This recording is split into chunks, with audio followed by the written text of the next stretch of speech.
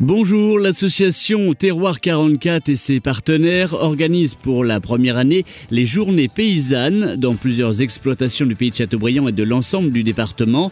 Pour l'occasion, plusieurs fermes ouvrent leurs portes afin de partager leur façon de vivre l'agriculture paysanne au quotidien, des temps où se mêlent pédagogie et bonne humeur.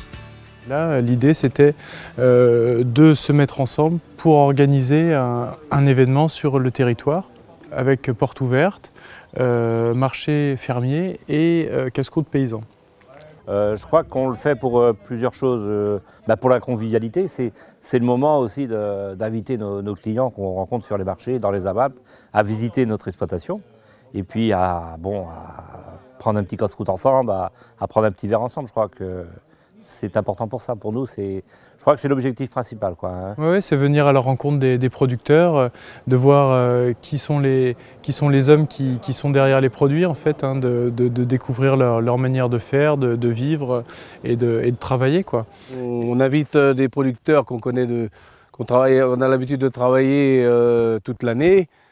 Donc c'est vraiment des, des, copains et on passe une bonne journée. Quoi. C'est vrai qu'il y a une, tradition aussi chez, ces producteurs fermiers, c'est qu'ils aiment bien euh, faire la fête et, euh, avoir, euh, voilà, ouvrir leur ferme, réunir tout le monde pour partager un bon moment et des bons produits, tout en passant un message.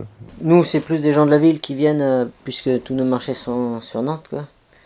Et après, bah, ça permet aussi aux familles d'amener leurs enfants pour, pour découvrir ce que c'est la ferme.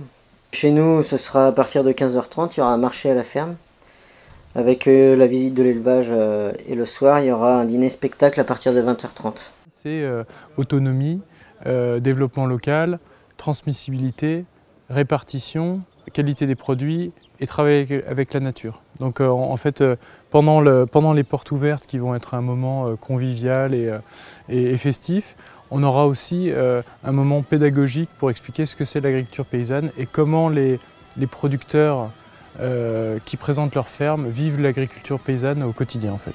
Et les prochaines journées paysannes sont programmées le 23 mai chez Gaëtan Lefebvre à la Grigonnet, le 29 mai à la ferme de Bel Air à la Meillerie de Bretagne, le 6 juin à la ferme de la Rangeonnière à Bougnay, le 13 juin à Herbray à la ferme de la Coltière et le 26 septembre à Vey à la ferme de la Chênaie.